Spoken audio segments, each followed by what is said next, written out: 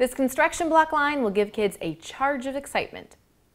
Hi, I'm Laurie from TTPM. That's because the blocks from E-Blox introduce electrical circuitry to kids without the use of wires.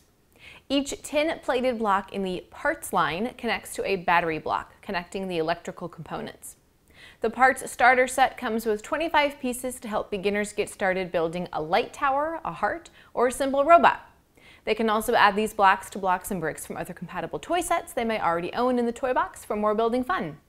The set requires one 9-volt battery. The instructions give kids the basics on how to connect the LED modules and E-Blox plates to get the LEDs to light up, but there are no specific instructions on how to build the sample builds shown on the back of the box.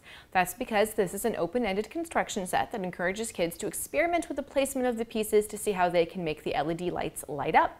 They'll especially be engaged in creative building when integrating the pieces with other brick and block systems they own to build something totally new.